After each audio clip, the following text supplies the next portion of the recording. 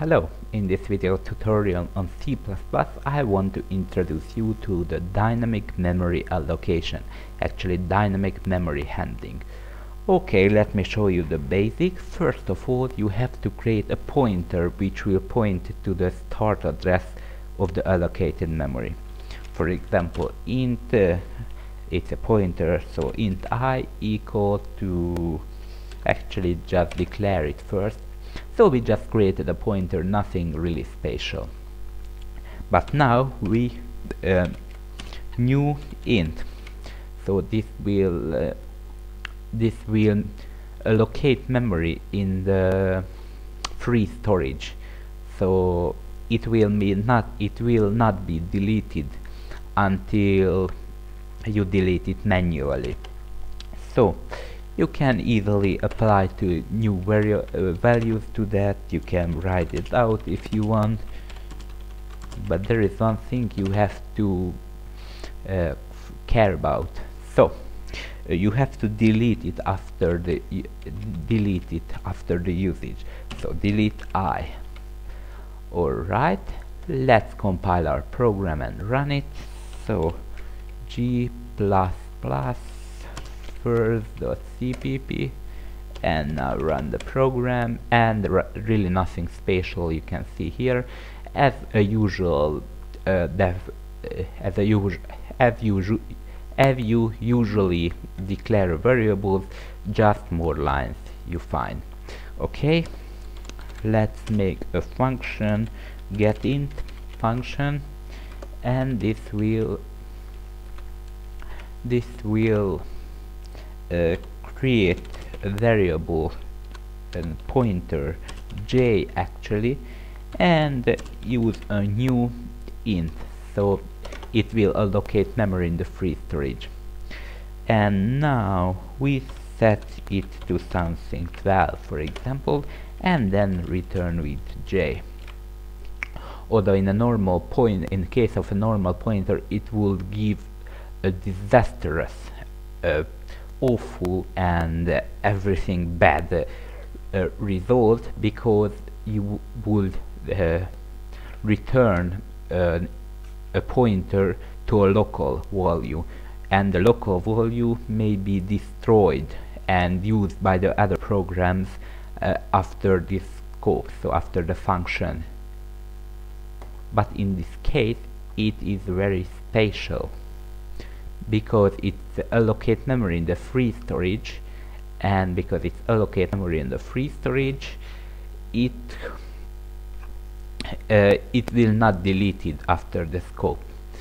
So let's make a, a, pointer k and make it equal to getInt function uh, return actually we don't return with an integer we return with an integer pointer. I almost forget it.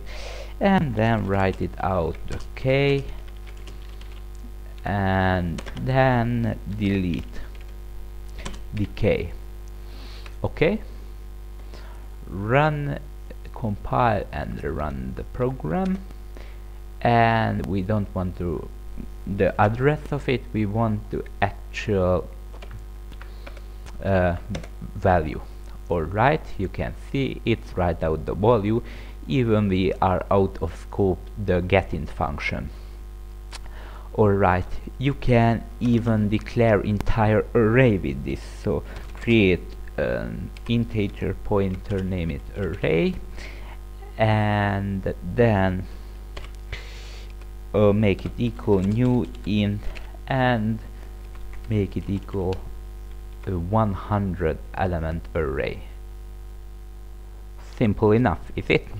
Okay now you can um, uh, use this pointer like a normal array. So array 1 is actually make a for loop int age equals 0 age less than 100 age plus plus and just make the array i equal to uh, the age times 2 alright and make another function which will just write out the array i.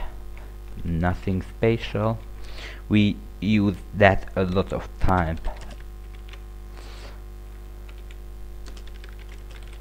Alright and that's it. But don't forget to delete it. To delete an array you don't you shouldn't use delete. Itself you have to put a square bracket after it. It will indicate so it will tell the delete that it is an array not just a single variable. So delete uh, what was the name? Array. Okay and with this we delete the array uh, which is in the free storage. And we don't make a memory leak. Alright. Compile our program. Oh what is it? So yeah this is not I as I usually use the I in my program as a loop variable because we already make an I. This is age and this was the problem. Okay compile the program run the program and it's write out the numbers uh, actually every even number. Alright and that was the uh, tutorial. Remember that don't forget. Remember that don't forget to delete it. Because if you delete it you may cause a memory leak and everybody hates memory leaks. I have a few program which have a memory leak and I hate the program which have a memory leak because they have a memory leak. Okay so don't forget to delete it. Never. Okay the the actually why is it why is the memory uh, why is this useful for us? Uh, it is the base of the of several things like the standard containers for example just an example because it it's uh, allocate memory dynamically from the heap or other name free storage and and they store the data there and every time I push something to the standard container or uh, the container it will locate memory dynamically again. It will pass that uh, that what I passed to the function. And uh, yeah. And next time I will uh, push something in it it will allocate a memory again. It will uh, pass that something I passed in and yeah that's it basically. Alright then. Uh, that was just one example. There is a numerous use of dynamic memory allocation. We use the these in several times. We use we use C++ uh, in our example. For example the string itself use a dynamic memory allocation, the vector use a dynamic memory allocation, probably the IO stream use somewhere a dynamic memory allocation, so everything is depend on dynamic memory allocation. The old C way for dynamic memory allocation is the malloc, like memory alloc function, and the free, it is equal to delete although you shouldn't use it delete will do much more for you than uh, than the malloc and uh, free. So it will check a lot of things. Uh, it will throw an exception if the memory cannot be allocated uh, std I think it is std colon colon bad alloc exception oh I almost forget we I will make an exception handling tutorial because at least I talked two or three times about exception but uh, we don't catch any exception we don't throw any exception so we don't do nothing about exceptions. We don't check exception even. So yeah later I will do it but this is the last tutorial for today because I um, that okay? So uh, I think I covered everything uh, so the basics I wanted but uh, there are a few a few things that I didn't like uh, like the uh, new which don't give which don't throw an exception so exception free new uh, the new which allocate memory in an allocated but deleted space. Uh, yeah which allocated memory in in another space. But this will this is a little more advanced. Uh, so yeah we don't really use it use it sometimes they will.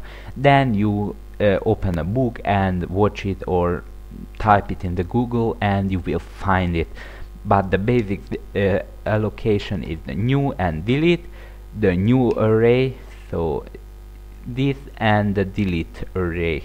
This will be the base of the memory allocation dynamic memory allocation which uh, which will store everything in the heap. By the way if we are here uh, I just want to tell you about the memory. So where does these uh, things stored in the memory. So there is three three basic memory storage tactic. One is that the automatic so int g. This will be stored in the automatic uh, memory which will be automatically created and it is belong to the program and the end of the scope it will delete uh, so it will destroy that memory allocation automatically. You don't have to do anything just declare variable. The other is the static variable uh, static uh, memory which is uh, used by the global object so if you declare something in here you and the static object uh, the static variables which I don't didn't speak about but I will I I will. Alright and the third is the free storage which I just show you. You have to and yeah uh, in this case it will be created when the program starts and it will be destroyed when the program ends so like here. In case of the free storage or heap it will be created uh, by the new keyword and it will be destroyed by the delete, delete keyword. There is no automatic uh, automatic de uh, destroy. Alright thank you for watching and have a great day